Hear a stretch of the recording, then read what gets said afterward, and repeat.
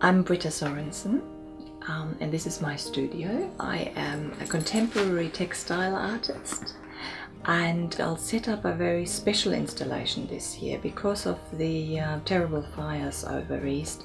Um, I've tossed out the concept I originally had uh, for this year and I've decided to do something that will be an interactive installation where people can bring and make uh, messages of hope and uh, I'll assemble all these contributions to artworks that then get sent over to communities that are badly scarred by fire.